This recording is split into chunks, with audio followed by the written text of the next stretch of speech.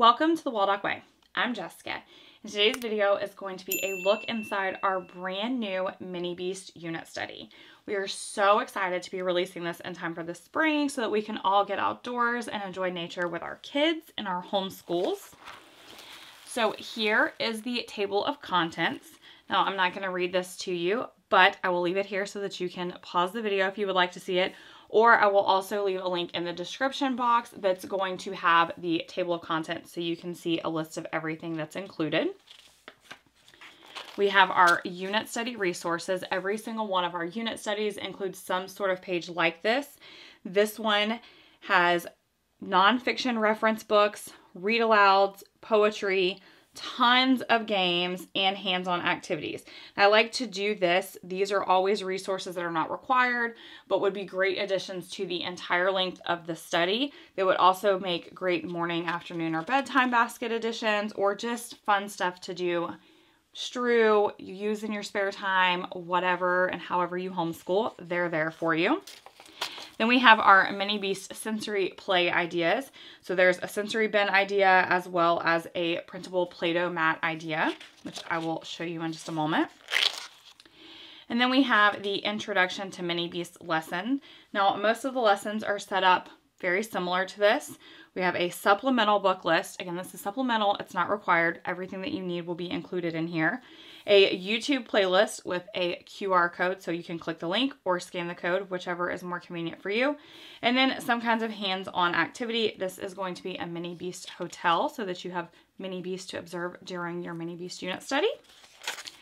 And then here we have the nonfiction reading. So this is going to give you all of the information about the Mini Beast and what you're going to be doing.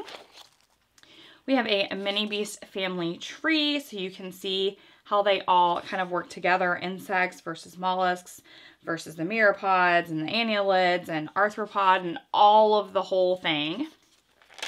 And then there is a sorting activity where your kids will be able to sort insects versus non-insects just to start with to kind of familiarize them with what is an insect versus what is not. And then here are the cards for that sorting activity. There's always some kind of review page. So in this instance, they'll be matching the different mini beast groups to a definition of them. And then we're moving on to another lesson. So the next lesson is going to be Who Studies Mini Beast. Again, that supplemental book list, the YouTube playlist, a hands-on activity, which happens to be a Mini Beast scavenger hunt, that non-fiction reading page so that you don't need anything else, a Who Studies Mini Beast word search. So this is just all famous entomologists and their names to just kind of familiarize your kids with them. And then we have a spotlight on a famous entomologist, Jean-Henri Fabre, a coloring page of him, a biography of him, and then here's that Mini Beast scavenger hunt that I was talking about. It's already created for you. So you can just take this outdoors and let your kids see how many of them they can find. And then for each of the groups, which there are going to be five groups of mini beasts discussed in this unit study, insects, arachnids, myriapods, gastropods, and annelids. There is an introduction to them. Now, each of the introductions and subsequent lessons also have discussion questions, so you can really kind of make sure your kids are comprehending what you guys are studying. And then for each of those groups, there is an example life cycle. So you're going to see, for instance, an insect life cycle. This is the ladybug. And there's going to be a page for your kids to write down the stages of development so they're familiar with them before you move on into each individual insect. And then again, a word search so they can start kind of getting familiar with all the different types of insects or some of the different types of insects. And then we move into specific insects. So here's ants. For the ant lesson, you again have that supplemental book list, a YouTube playlist with clickable link and QR code, and then some kinds of hands-on activity. You have that nonfiction reading, discussion questions, a coloring page. You have the anatomy of an ant. So this is just kind of a poster that you can use for an example. And then there's one for your kids to label. Now in the back in the appendix, there are the labels where you can cut and paste. So if your kids are younger or if they don't love writing, they can still get all the benefits of knowing the anatomy of the insects and the mini beast without having to write.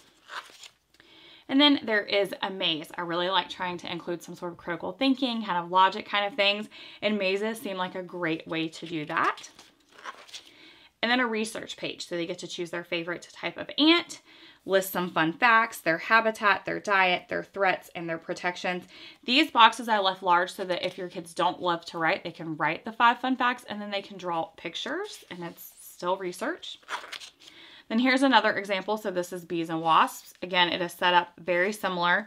The only difference is when there's two that we're comparing, so bees and wasps in this case, there's going to be a coloring page and the anatomy pages and the mazes for each of them so that you can be familiar with each one of those. And then you will just have the research where you will choose either your favorite bee or your favorite wasp. So that's how that works. And then, like I said before, each of the groups has an introduction. So this is now Introduction to Arachnids, nonfiction page, discussion questions, the life cycle, stages of development for the kids, word search, and then we get into the spider lesson, which is set up just like we said before. Now, there was something here that I did add because the lesson that they're doing is why don't spiders stick to their web. So here's where they can learn a little more. So sometimes there's something a little extra. And pretty much the rest of the unit study is set up very similar to that. Each of the groups has an introduction before you get started. And then each of the specific mini beasts has a very similar layout. So here you can see scorpions. And now ones that don't necessarily have a hands-on project have Pinterest boards for craft ideas. And then there are like an additional learn more about them, kind of something that was interesting. So there's definitely tons to learn about each of the mini beasts. And then when we get to the appendix, there's a few fun extras. So this is an unscramble the mini beast page, which is just, like I said, something fun. It would be great to do as a review to remember the ones that you studied or something you could strew for your kids, something to get them excited about starting the unit study. There are writing prompt ideas. There are also some figurative language sheets if you're something that's something you're wanting to teach your kids. It's something that I've been wanting to do with Emily, so I added them. They're all mini beast related and themed. So here we have metaphors and similes, and here we have hyperboles and personification. And then these are those labels for the anatomy, so you could cut and paste instead of writing. And then there is also an answer key. It's always really important to me that I try to include as much as possible to make our unit studies available to the widest range of ages as possible because I know that there's homeschool families that want to be able to homeschool a preschooler all the way up to a middle schooler or high schooler and they want to be able to do it together as a family. And so one of the ways I do that is with a ton of extra printables. This is one of them. These are Life Cycle Play-Doh mats. They are one of the sensory activities. And as you can see here, they have the little tracing kind of cut out. So you could even just have your kids trace them if you wanted. But if you laminate them, they can use Play-Doh to fit into those little spots. And then they can make the life cycle with Play-Doh. So it is something fun for younger kids and it's also educational and it's letting them be included. In addition to the Play-Doh mats, as an extra, I also have an A through Z mini beast craft. So every letter has a different mini beast of some kind, and it looks similar to this. And so your kids can color the letter, trace the word, and then cut these pieces out and create a craft. So here is an example. S is for snail, and here is the finished snail. So again, a way for your younger kids to participate and learn right alongside. This is everything that they would need. It's their A through Z's, tracing, and a fun craft, so it's really appealing for them. Another fun extra we have for the younger kids is Mini Beast color by number. So we have the alphabet insects A through Z to work on their alphabet. And then we have color by numbers to work on their numbers one through five and their colors. And there are a ton of different ones to choose from to keep them interested and having fun while they're learning and while you're doing mini beast with them. The last fun extra we have for your younger kids are Mini Beast pattern blocks. Now, we are obsessed with pattern blocks even at almost 11 years old. Emily still loves them. I made sure to include two different types. So you have the color version, which makes it a little bit easier if your kids are just starting out because they're just matching the color and the shape.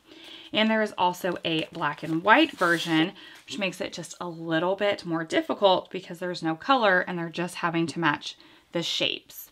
There are tons of different ones in these too. So lots of fun to be had to help your kids with shapes and color and spatial reasoning. And then at the bottom, when they finish them, they will write down how many of each different pattern block they used to complete it. So also working on that counting and number skill. And it would not be a Waldock Way unit study if there were not games included. And so this is a look at some of the games, but now let's dive into each individual one. First up, we have Mini Beast Sudoku, and there are three different levels, so you can pick depending on where you think your kids are at, or you can have them start with the easy and go to the hard. So we have a 4x4 puzzle, a 6x6 puzzle, and a 9x9 puzzle. And included are going to be the little cutouts that fit that specific one. So, of course, I picked up a ladybug and it doesn't go anywhere. We're just going to pretend you would just have your kids figure out the puzzle and put them wherever they go. Now, what I like about this is that because these are just movable pieces, they're not committed to anything and they can go, oh no, that doesn't go there and kind of move it around. Makes it a little bit easier. And if they want to commit, you can always have them glue them down. Next up, we have Mini Beast Memory. So you would just lay all the cards out and then you would flip two over to see if you got a match. If you didn't, you would flip them back over and everybody would just keep taking turns trying to find matches for the Mini Beast. The next game we have is Mini Beast Bingo. So you would just pick a card. That's a mantis. Cover it. You should also probably cover the free space. Pick another card. Beetle. Millipede.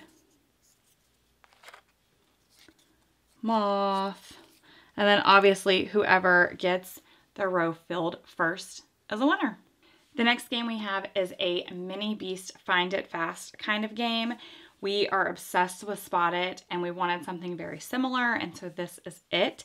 You will just flip a card each and then you will try to find the match as quickly as possible. In this case, it's the millipede. I found it.